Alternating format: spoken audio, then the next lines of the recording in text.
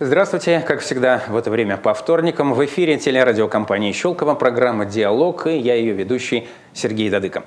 Напоминаю, что программа наша идет в прямом эфире. Вы можете звонить к нам в студию по телефонам 496, это код города, 567-1440 и 567-1450 и задавать свои вопросы моим сегодняшним гостям. А в гостях у меня сегодня начальник Щелковского пожарно-спасательного гарнизона Вячеслав Никонов. Здравствуйте, Вячеслав Иванович. И начальник отдела надзорной деятельности по Щелковскому району МЧС России Павел Шагов. Добрый вечер, Добрый Павел вечер. Николаевич.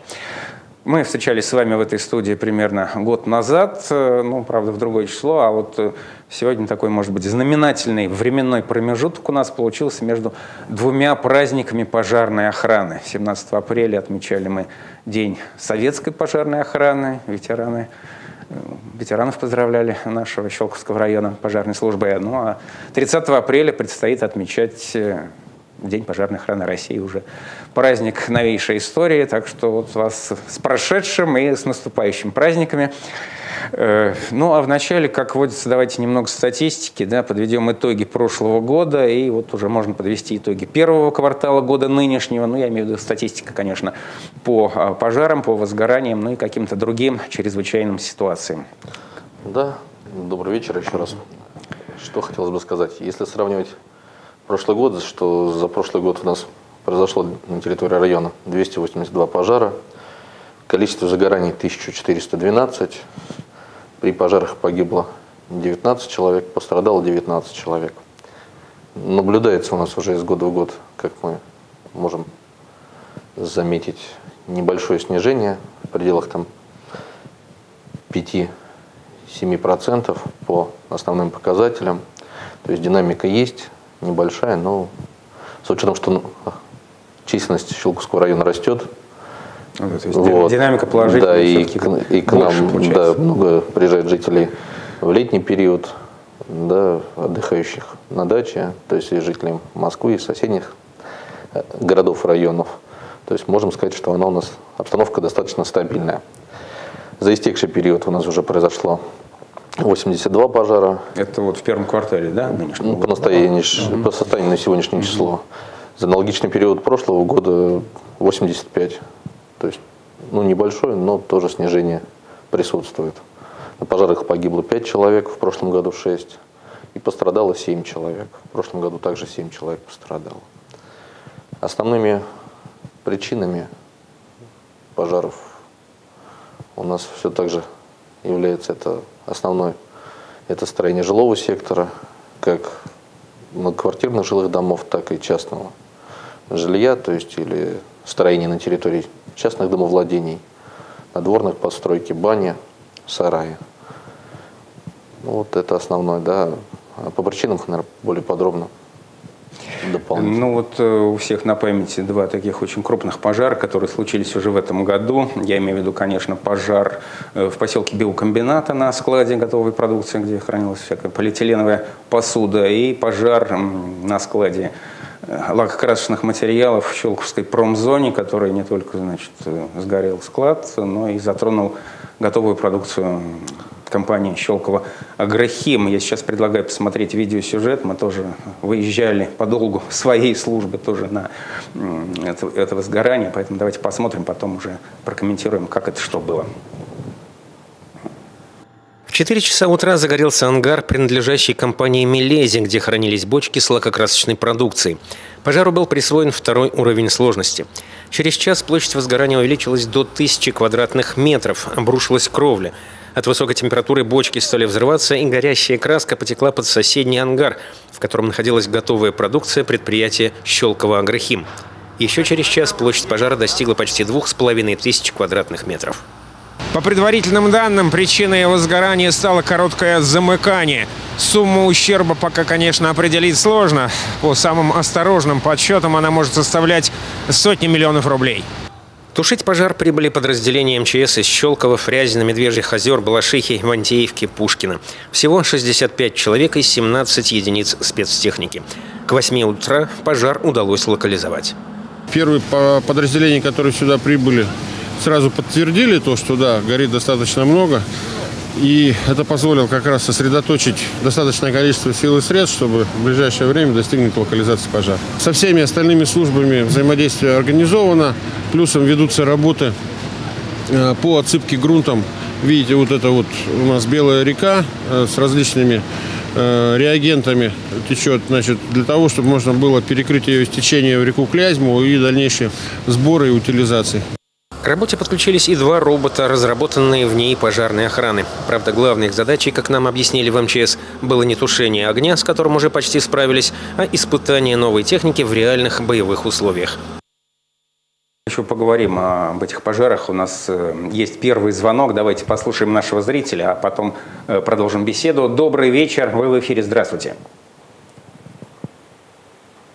Алло, здравствуйте. Да, слушаем вас. Говорите, пожалуйста, вы в эфире.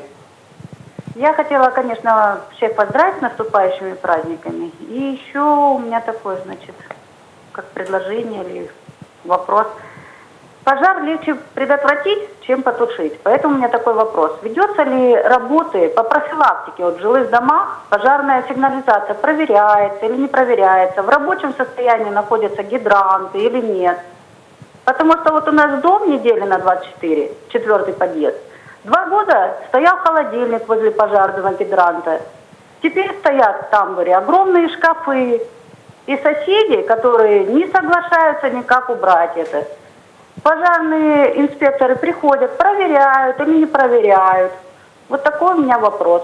Потому что после того, как погиб полковник Чернышов Евгений Николаевич, которого я лично не знала, но очень уважала, такой был человек замечательный, и столько трудов он и вот когда он даже, такой мудрый, умный человек, и не смог противостоять пожару, как мы сможем, как может, сможет противостоять моя семья, которая молодой, молодая девушка и маленький ребенок? Спасибо, спасибо за вопрос. Кто ну, готов ответить? Отвечать, наверное, я э, по противопожарному снабжению противопожарного снабжения у нас проводится э, проверка ежегодно, два раза в год. Это весной и осенью. Сейчас в данный момент ведется проверка всех пожарных гидрантов на территории Щелковского муниципального района и всех э, водоемов, которые приспособлены для тушения и которые возможно задействовать для тушения пожаров. А по профилактике Павел Николаевич более подробно озвучит. Да, э, та работа, э, о чем вы говорите, она, конечно, ведется, но в рамках действующего законодательства мы все понимаем, что все управляющие у нас компании являются субъектами предпринимательства. Зачастую это малый и средний бизнес, и, как мы знаем, президентом объявлены надзорные каникулы для проверки этих объектов. Но по обращениям жителей мы своевременно реагируем, выходим и профилактируем, то есть не обязательно проверяем, просто достаточно с жильцами пообщаться, разъяснить более подробно, с привлечением, конечно, управляющей компании. И, как правило, все замечания устраняются в ходе проверки, скажем так, ну или в течение кратчайшего времени.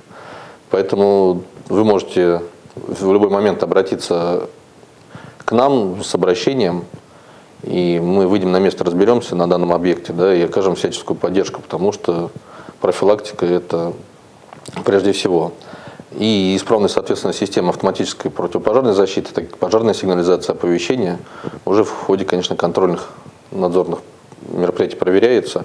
Но все в рамках проверок, согласованных в установленном законном порядке, которые размещены на сайте Генеральной прокуратуры, и каждый может посмотреть, они ведутся. Спасибо. И мы будем только да. благодарны, вот добавлю, Павел Николаевич, что вот, э, действительно неравнодушные жители будут обращать на эти моменты внимание, обращаться к нам, а надзорные органы выполнят свою задачу. Давайте вернемся вот к этим двум крупным пожарам да, на территории щелковских предприятий. Э, насколько я знаю, буквально после этих событий в, в администрации Щелковского района прошел специальный семинар для руководителей предприятий об усилении, так скажем, противопожарной безопасности на производстве. Насколько я знаю, вы были там, Павел Николаевич, если можно, расскажите подробно, что, да. что было, какие были данные указания, пожелания и так далее. Да, действительно, у нас произошли два достаточно резонансных пожара и по повышенному уровню пожара работали наши пожарные подразделения. И пожары за короткий интервал, то есть в течение разницы одна неделя. Мы инициировали проведение совещания в администрации, куда приглаши, пригласили предпринимателей по этому направлению деятельности, то есть производственно-складских комплексов, где попытались довести и обратить внимание на ту проблематику, которая существует э, по данному направлению, да, потому что мы, проводя предварительную проверку по факту пожаров, ну и в ходе э, проведения тушения пожаров, э, столкнулись с рядом проблем, которые повлияли на тушение пожаров. Это складирование готовой продукции в противопожарных разрывах, ограничение доступа пожарных подразделений к источникам противопожарного водоснабжения, то есть тем же пожарным гидрантам, проезды отчасти перекрытые, то есть что создавало затруднения для маневра и пожарной техники, и тушение пожара на, ран... на ранних площадях, на раннем стадии. И, конечно, своевременные сообщения о пожаре. Да? То есть, проводя налоги, мы знаем, что по некоторым пожарам люди пытались тушить самостоятельно, и когда уже вызвали подразделение пожарной охраны, время было немалимо упущено. Если брать э, причины, то, например, по предприятию Мелези, да, сейчас проверка до сих пор еще проводится, назначен ряд судебно-экспертных экспертиз, и по результатам проверки уже, соответственно, будет принято решение. По пожару, который произошел в поселке биокомбината предприятия «Орхимед», э, предварительным данным материалы проверки были направлены в следственное подразделение МВД в рассмотрение по подведомству в рамках поджога. То есть следственный орган уже более точную оценку этим действиям внесут. То, что касалось обращения и совещания с э, руководителями промышленных предприятий, мы доводили как новые методы да, и новые подходы в системе МЧС. Это проведение независимой оценки риск, риска, да, проведение расчетов риска на объекты. То есть каждый собственник или арендатор тех или иных площадей, мы понимаем, что несет персональную ответственность за свое здание помещение. И прежде всего это, конечно, безопасность людей. И в связи с этим сейчас законодательство допускает э, разрабатывать, ну, проводить, во-первых, независимую оценку пожарного риска, которая потом влечет исключение плановых проверок со стороны органов МЧС, и также проводить оценку риска, отступать от выполнения тех или иных требований, которые допустимы законом, да, то есть не вкладывать в обеспечение безопасности, а экспериментальным путем доказывать, что выполнение тех или иных мероприятий будет позволит избежать либо возникновения пожара, либо наступления человеческих жертв или пострадавших, да, и ответственность за это на себя берет, например, собственник объекта. И при этом можно ограничиться, ну, скажем так, минимальным комплексом мероприятий, но которые все равно надо соблюдать. Также мы рекомендовали всем в случае возникновения каких-то консультаций не стесняться обращаться в органы пожарной охраны, пожарного, государственного пожарного надзора в плане оказания консультаций. Эту услугу совершенно безвозмездно, то есть в рамках консультации наши сотрудники готовы, если при необходимости, и показать, рассказать, что надо делать. И будет необходимость, будут выезжать на объект и покажут это все на месте. Ну а также обращали внимание на своевременность проведения тренировок с персоналом, чтобы люди знали и порядок действий в случае возникновения пожаров, и порядок эвакуации. Если Спасибо. Вот как раз э, предлагаю посмотреть еще один видеосюжет, который связан с тренировками не только пожарных спасательных расчетов, но и, опять же, персонала. Э, в данном э, конкретном сюжете был задействован, была задействована, ну, раньше называлась Алмазовская школа-интерната, сейчас называется Центр для детей с ограниченными возможностями доверия. Буквально это вот было, наверное, неделю назад. Давайте посмотрим, как все происходило.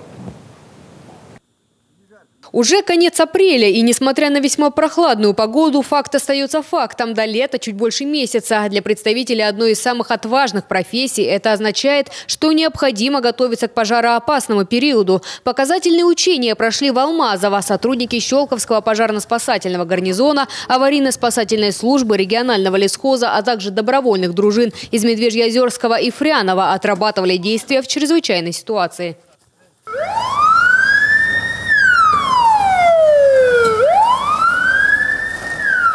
Возгорание произошло в лесном массиве неподалеку от важного социального объекта – школы-интерната. Главная задача – не допустить, чтобы огонь перебросился на здание. Так сейчас ликвидацией очага возгорания занимается пожарная часть номер 300 и добровольная пожарная дружина. Отрабатывают худшие из предполагаемых раскладов. Огонь подступает все ближе к зданию, в котором находятся дети. Первый на место успевает добровольная пожарная дружина из Медвежьеозерского поселения. Разворачивают рукавные линии, используют воду из специального водоема на территории интерната. Помогает дружинникам медвежек и другой образцовый отряд из поселения Фрянова. Наша задача какая? Во-первых, вывести людей с территории, где происходит пожар. Потом э, заняться локализации огня и дожидаться службы пожарной охраны.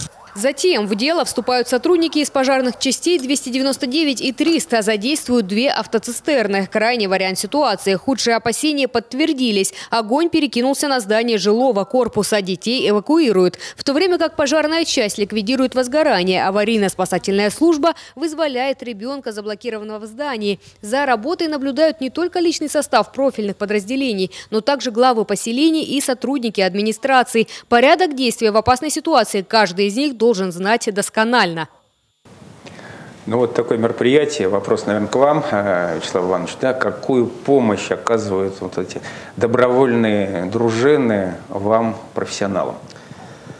Ну, добровольные дружины мы с недавнего времени начали развивать. Это движение э, формировали на добровольных пожарных дружин на территории района. А, во-первых, э, они нам оказывают большую помощь при э, рейдах, которые мы проводим, а, начиная с начала пожароопасного периода. Э, они смотрят, проходят по территориям, смотрят, э, не происходит ли где-то возгорание. Э, для чего это все производится, э, делается? Для того, чтобы э, малейший очаг, его в, в начальной стадии заметить, вовремя вызвать пожарную охрану и локализовать его меньшими силами и не дать распространиться э, очагу в лесном массиве до грандиозных размеров, с которым будет уже справиться намного сложнее. Э, Во-вторых, они сейчас укомплектованы техникой, как вы видели. У них есть расчеты. Они э, первые реагируют на данные очаги э, и до прибытия пожарных подразделений сдерживают тот или иной очаг пожара. То есть э, тем самым помогая нам и минимизируя э, все возможные распространения пожара.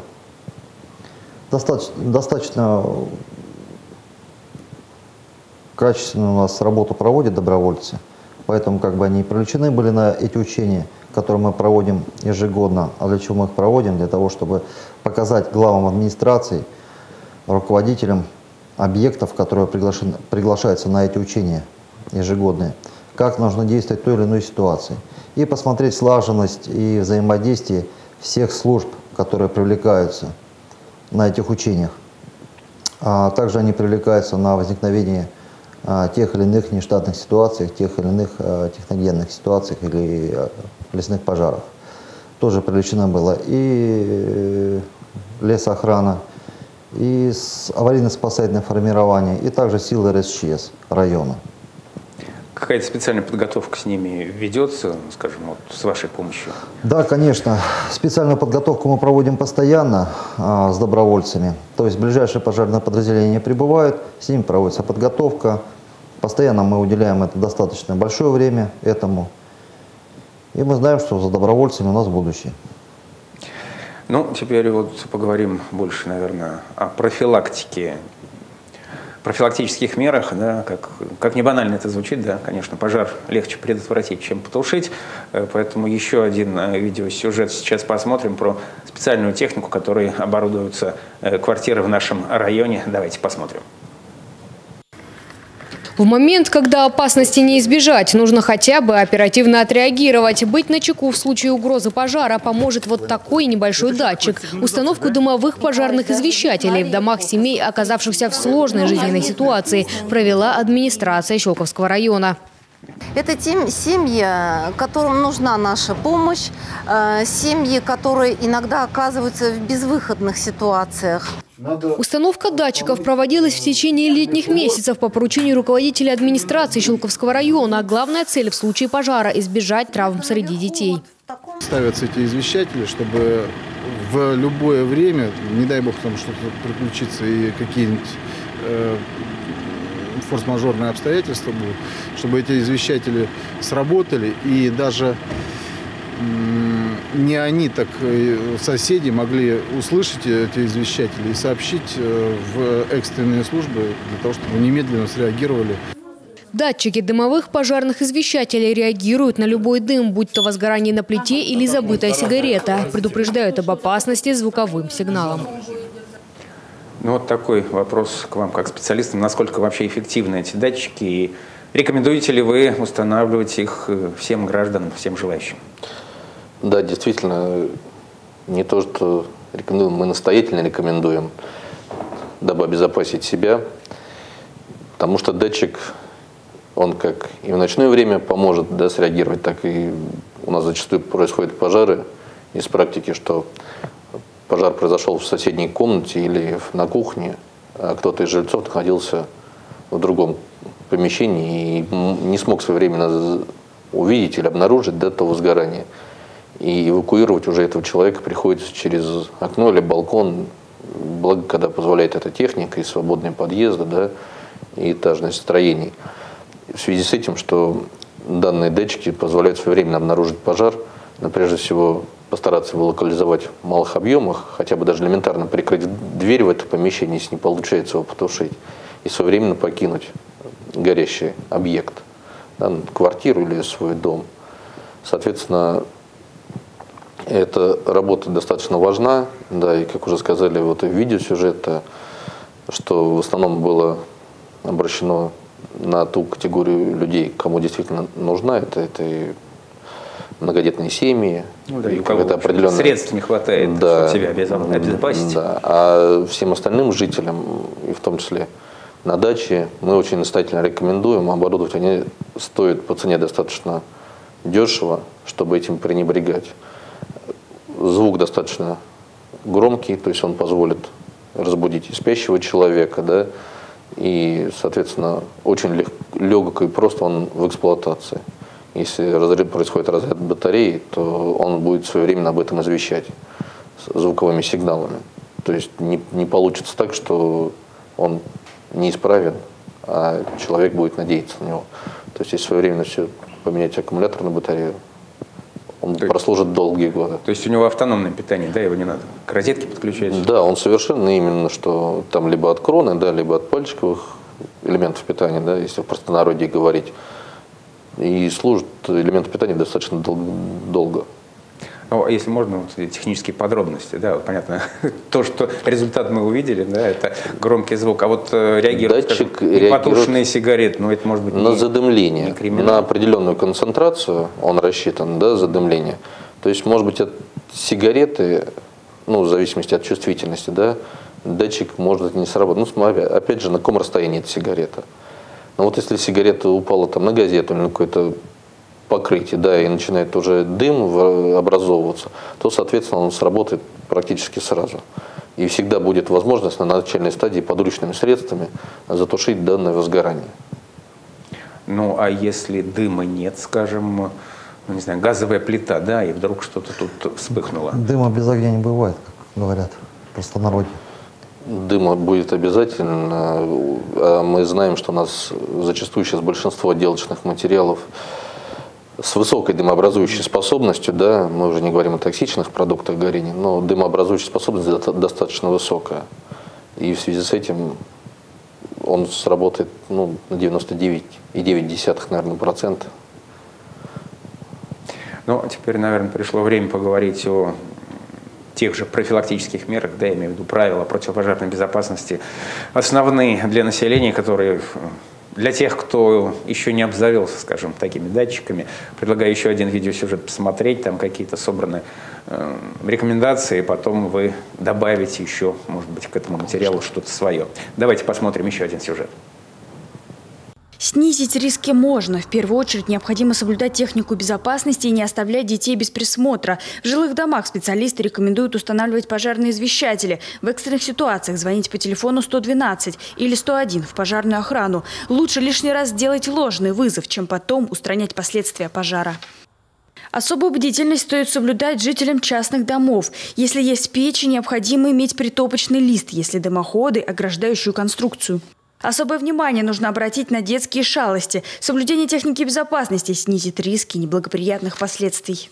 Пренебрежение элементарными правилами безопасности, к сожалению, не редкость. Все случаи специалисты заносят в протокол. Сотрудники пожарной службы говорят, что ходить с напоминаниями проверками не устанут, если профилактическая беседа поможет спасти хотя бы одну жизнь. Э, пришло время небольшого перерыва в нашей программе. Мы обязательно после него вернемся, естественно, к рекомендациям по противопожарной безопасности. Я напоминаю нашим зрителям, что в гостях у меня сегодня начальник Щелковского пожарно-спасательного гарнизона Вячеслав Никонов и начальник отдела надзорной деятельности по Щелковскому району МЧС России Павел Шагов. Не переключайтесь, мы вернемся через несколько минут.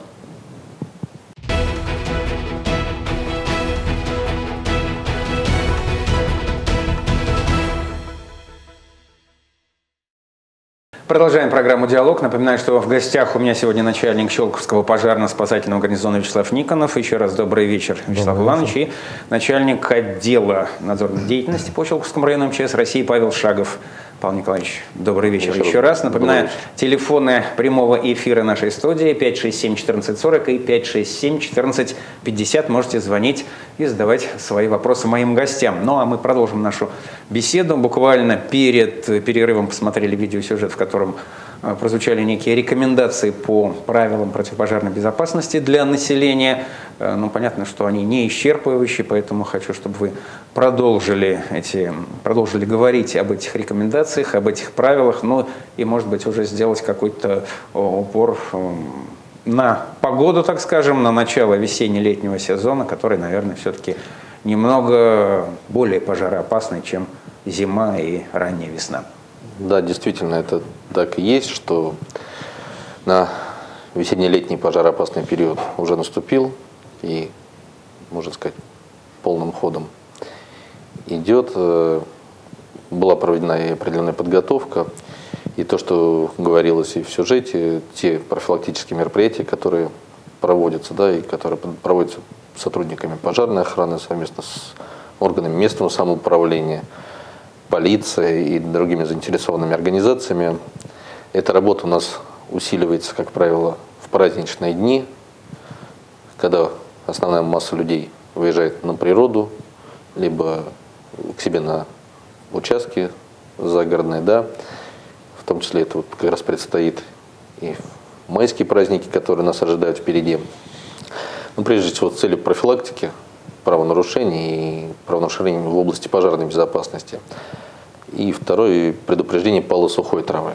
То есть мы все знаем, что весна – это у нас колоссальное количество выездов подразделений пожарной охраны на пал сухой травы. Это можно сказать, отчасти наша беда. Да? Ведь даже в Щелковском районе регулярно происходят случаи возгорания с построек и домов от полу сухой травы.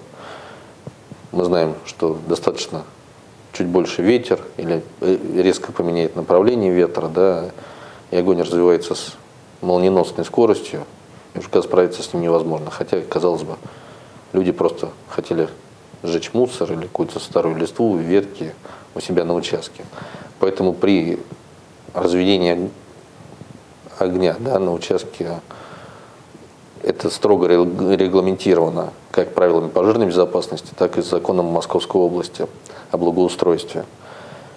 Такое допускается на территории, но в строго отведенных местах, на особых противопожарных расстояниях, противопожарных разрывов, да, и обязательно этот процесс должен быть контролируем при наличии средств первичных пожаротушения. Это как огнетушители, вода, песок, ну, что основное можно иметь как бы на приусадебном участке, да, или в частных домовладениях. То, что касается жителей э, жилых домов, э, потому что у нас основная или львиная доля пожаров, да, вот из 82 пожаров, прошедших в этом году, у нас 39 пожаров произошло по причине нарушения или неправильной эксплуатации электрооборудования, электроприборов. В этой связи хотелось бы напомнить о соблюдении требований по пользованию электронагревательными приборами, электрооборудованием, электроинструментом и, или другими устройствами. Это прежде всего целостность электропроводов, вилок, удлинителей, да, электророзеток. Правильно мы всегда говорим, что устанавливать в электрощитах устройство защитного отключения с целью предупреждения возникновения пожара там, от короткого замыкания. Никоим образом нельзя электронагревательные приборы накрывать какими-то предметами, да, одеялом или сушить на них вещи, потому что у него должен быть свой, свой воздухообмен, да, и от этого тоже происходит возгорание. И 15 случаев да, из этих же 82 это по причине неправильного использования печей и отопительного оборудования.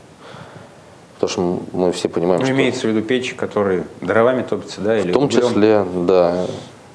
Мы сейчас даже не рассматриваем столько не газовое оборудование, mm-hmm. да, там случаев достаточно немного, но они тоже бывают, да, а больше именно печи дровяные. Дровяные уголь, да, на твердом топливе. Э, это в основном и бани, то есть люди сейчас уезжают, да, и активно протапливают свои бани после зимнего периода, при этом не всегда проверяет целостность дымоходов, целостность той противопожарной разделки, которая сделана в перекрытии или в покрытии. Порой даже перекаливают печи. Ну, это фактически беспечность самих хозяев. Допустить перекал печи. То есть ну, каждый владелец должен понимать, что потопил и надо обязательно давать перерыв. Либо своевременно осматривать те конструкции, которые граничат деревом, но, как правило, это деревянное перекрытие, деревянное покрытие или какой-то горючий утеплитель. И происходит воспламенение и уже, соответственно, сгорание. Вот на этот момент очень бы хотелось внимательно, чтобы каждый гражданин смотрел, обращал внимание. Есть и если необходимость, пожалуйста, можно позвонить и проконсультироваться у нас в отделе. Вся эта информация достаточно сейчас в общем доступе, то есть и в сети интернет, можно посмотреть, какие правила пользования да, в любой момент. Но наши рейды будут проводиться, и профилактическая работа не только сотрудниками отдела надзорной деятельности, а в целом сотрудниками пожарной охраны Щелковского гарнизона. Мы будем ходить, ходить и в выходные дни и по домам с целью предупреждения данных случаев, доведения на население мер пожарной безопасности. Поэтому прошу жителей относиться к этому с пониманием, если в выходной день увидят сотрудников МЧС или пожарной охраны, МОСАБЛ, Пожспас, которые будут вручать им какую-то наглядную агитацию и всегда по возможности использовать данный диалог с пользой. Да, попросить э, каждый сотрудник всегда проконсультировать, подскажет на месте, ну и, соответственно, теоретически подкрепит знания каждого жителя. Спасибо. Ну а сейчас я предлагаю нашим зрителям посмотреть о том, как проходили э, подобные рейды, о которых рассказал Павел Николаевич э, минувшим летом в нашем районе. Давайте посмотрим. Лучший метод борьбы с огнем – профилактика. Летом, в самый пожароопасный период, ежедневно представители служб безопасности Щелковского района патрулируют территорию муниципалитета, чтобы вовремя пресечь угрозу пожара и напомнить несознательным жителям, что отдых на природе – это, конечно, хорошо, но с огнем шутки плохи. Каждый день утром проходят совместные разводы о распределении групп, патрулирующих определенные маршруты. Первая группа у нас в составе сотрудников администрации – полиции, сотрудников отдела надзорной деятельности будет осуществлять патрулирование лесных массивов, водоемов в районе Щелково 7. Так, в минувшую субботу патрулировать Щелковский район были направлены 9 групп, в которые вошли сотрудники пожарно-спасательной службы, полиции, надзорных органов, отдела безопасности районной администрации и даже народной дружины. Их основной целью стала профилактика угрозы поджогов, разведение огня в несанкционированных местах, а также соблюдение отдыхающими правил безопасного поведения на воде. Вячеслав Иванович, вот мы о безопасности на воде еще поговорим в нашей программе. Да, вот сейчас опять же по э, противопожарной безопасности, отталкиваясь от э, видеосюжета по рейдам, насколько эффективны эти рейды и вообще вот какие при выявлении нарушителей какие меры принимаются? Достаточно эффективны эти меры. Почему? Потому что, опять же, э, рейды позволяют нам найти нарушителя, сказать, что во-первых, провести с ним беседу, а, провести с ним инструктажи правил пожарной безопасности, что так нельзя поступать, нельзя делать. И найти, э, обнаружить очаг в ранней стадии. Достаточно эффективны эти рейды. И мы, начиная с начала пожароопасного периода, мы усиливаем свои группы, и все э, подразделения пожарной охраны, они задействованы в этих мероприятиях.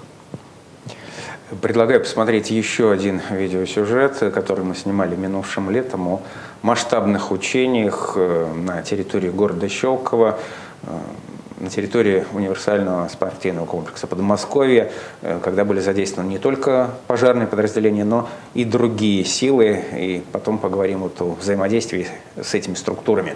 Давайте посмотрим сюжет про учения. В единую диспетчерскую службу 112 поступил звонок с сообщением о том, что в здании спорткомплекса Подмосковья обнаружен взрывоопасный объект. Возможный сценарий террористической ситуации разработан для плановых ежегодных учений. Задача сотрудников комплекса – соблюсти все правила реагирования и эвакуировать находящихся в зале зрителей. Все присутствующие уже предварительно осведомлены о порядке своих действий. Такие учения в теории и на практике помогают быть готовым в нужный момент к любым ситуациям. Сотрудники муниципальных учреждений отрабатывают свои действия во время командо-штабных учений антитеррористической направленности. Практическое действие. Для чего? Чтобы вы понимали порядок, последовательность всех ваших действий при возникновении подобной ситуации.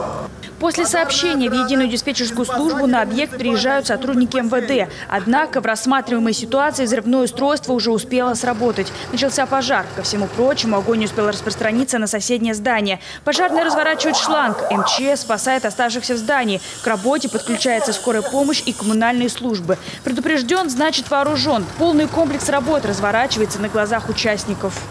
Очень э, познавательно было посмотреть на реальную работу наших служб. Это было очень интересно и практически очень применимо. Э, есть теперь понимание, как работают именно отдельные службы нашего района.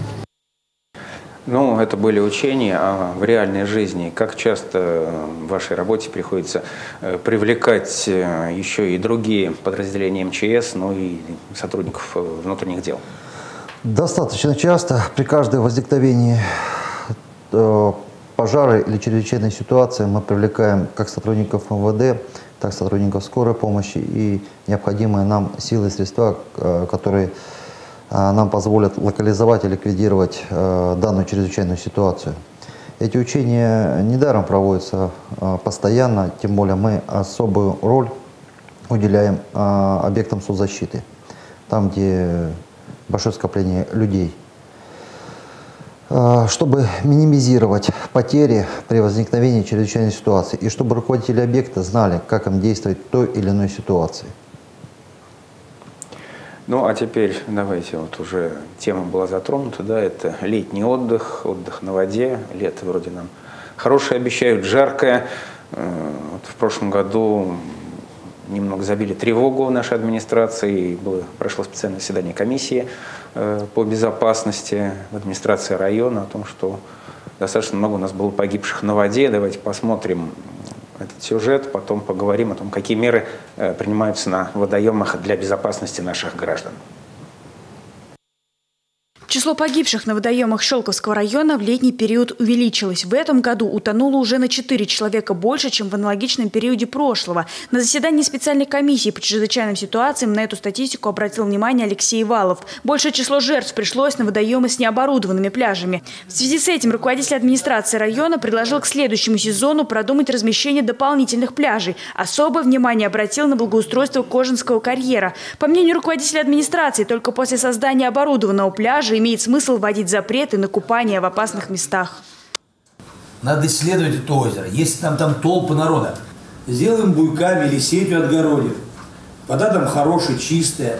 Завезем какое-то количество песка туда, чтобы выровнять глубину. И сделаем организованное место купания. Ну, и такой вопрос вообще, как оборудуются пляжи для безопасного времяпрепровождения граждан в летний период, э, какие силы для этого нужны и э, хватает ли людей вообще, потому что много у нас водоемов в районе. Да, у нас достаточно много водоемов, э, район у нас обширный и водоемов очень много. Проводится администрация большая работа по этому поводу, чтобы обезопасить время провождения людей у водоема. Ни для кого не секрет, что люди купаются в тех водоемах, которые не предназначены для этого. Поэтому те водоемы, которые... Все водоемы перед подготовкой к купальному сезону, они обследуются водолазами на предмет э, разных острых предметов там на дне. Обследуют дно полностью. Обследуется э, сама вода. Берутся пробы, чтобы э, они соответствовали санитарно-гигиеническим нормам. А, оборудуют водоемы а, спасателями, постами, которые дежурят а, во время в дневное время на этих водоемов. И если с кем-то произошло несчастье, они вовремя среагировали и спасли этого человека. Ну, и я, наверное, дополнил бы, да. Мы должны понимать, что, как правило, это летний отдых. Это комплекс отдыха, да, это и шашлыки. Это а там раз... опять костер? Это разведение огня. Я почему говорю, что и если вот из предыдущих сюжетов внимательно смотрели, да, мы говорили, что и при разводах, которые мы проводим, что у нас патрулируются как водоемы, прибрежная зона, так и лесные массивы, да, потому что мы смотрим в комплексе, потому что где есть э, шашлыки и компания, это места отдыха, да, зачастую там какая-то, может быть, группа и употребляет, да, спиртные напитки. спиртные напитки, соответственно, уже какое-то поведение не совсем может быть правильно оценено на свои силы, да, и, соответственно, конечно, правильно, когда пляж оборудован, да, и купаться или отдыхать лучше там, где приспособлено место. Поэтому спасатели и сотрудники, да, которые у нас и межведомственные рейды проходят, очень внимательно на это смотрят, обращают внимание, инструктируют, в том числе по поведению на воде. Ну и призывают, конечно, жителей внимательно смотреть не только за собой, но и за, скажем так, своими друзьями, товарищами, с которыми они вместе отдыхают или просто рядом отдыхают. Может быть, не стесняться делать им какие-то замечания по культуре безопасности поведения и в целом по культуре поведения, потому что зачастую там отдыхают и наши дети, да, и какой пример мы будем им показывать, так и такое поколение вырастем. Ну, а что бы вы хотели вот э, даже не, не порекомендовать, да, а вот обратиться к нашим жителям, как себя вести. Ну, особенно там, где, может быть, не всегда доходит патруль ваш, да, некоторые любят, наоборот, как говорится, подальше забраться куда-нибудь или в лес, или э, на водоем, да, ну, просто где поменьше народу. Прежде всего, стараться понапрасну не рисковать, оценивать свои силы, да, и не быть, например, в одиночку, не купаться. Ну, по возможности, чтобы с тобой кто-то был рядом, чтобы даже своевременно человек хотя бы мог сообщить о той или иной. Мы все понимаем, что может быть не предмет, а физиологическое строение да, человек, организм, там и ноги с судорогой сводят, и, ну, все что угодно может произойти, хоть человек будет в себе уверен, да, но вот и своевременно кто-то может подать руку помощи, да, или что-то предусмотреть, помочь. Ну, наверное, это основное. прежде всего. Спасибо. Ну, давайте теперь поговорим вот о хорошем, так скажем, в конце программы. Э, какие новости ожидают э, наших пожарных, пожарных Щелковского района в ближайшее время? Вот э, в позапрошлом году открыли депо в Медвежьих озерах. Еще какие-то перспективы грядут в году в этом или в ближайшем будущем? Да, конечно, перспективы грядут. Администрация Челковского района уделяет достаточно большое время, достаточно большое внимание именно пожарной безопасности и защиты населения – нашего района.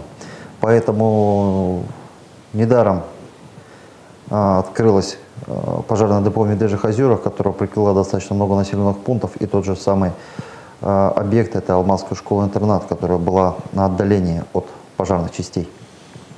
Эта работа продолжается администрацией, и в ближайшее время будет проведено строительство пожарного депо в микрорайоне Богородский.